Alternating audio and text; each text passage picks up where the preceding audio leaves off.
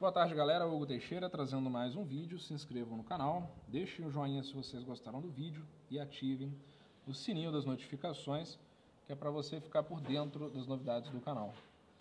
Vamos falar a respeito dessa faca aqui, que ficou concluída recentemente. Trata-se de um modelo utilitário, mas que lembra bastante as linhas de uma faca Bowie, né? Só que não é uma faca Bowie, é uma faca mais utilitária, até mesmo o comprimento da lâmina dela é um comprimento mais reduzido em relação a uma faca Bowie. Ela tem 15 centímetros apenas de lâmina, né? 4 centímetros de altura, mas os traços são sim de uma faca Bowie. Vamos falar a respeito da lâmina então primeiro.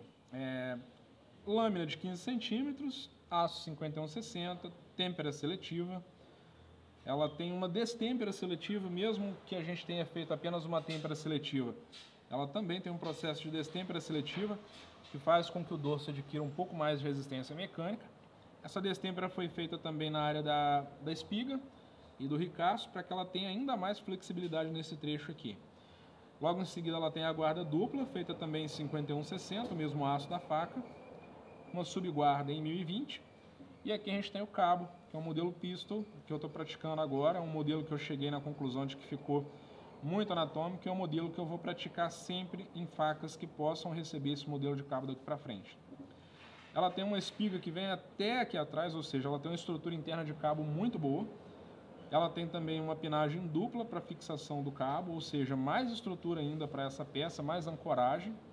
Ela tem também um passador de fiel em inox para ser condizente aqui com os materiais que foram utilizados na faca.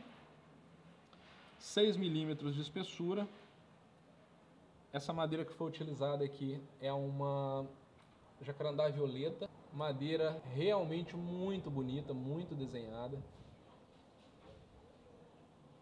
Sensacional, linda, linda, linda. Olha só esse detalhe aqui na pontinha, na parte de baixo do cabo.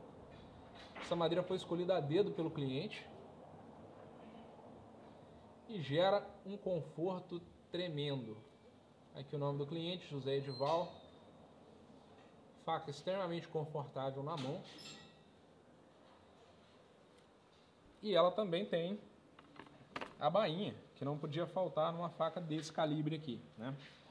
Essa daqui é uma bainha feita em couro bovino, fabricado pela minha esposa Luzia Souza, com duplo travamento de botão, tá?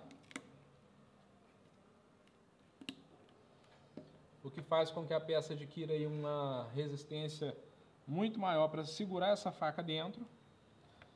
Ela tem também ó, duas alças para servir como passadores transversais. Caso o cliente quiser optar por utilizar a faca não na vertical, mas na transversal, na parte das costas, ele pode utilizar.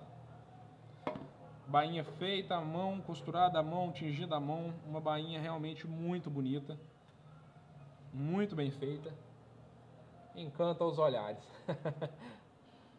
E é isso, espero que tenham gostado. Essa aqui é uma peça que deu bastante trabalho de fazer também, mas é uma peça que no final se torna muito satisfatória de fazer. Grande abraço a todos, fiquem com Deus. Até o próximo vídeo.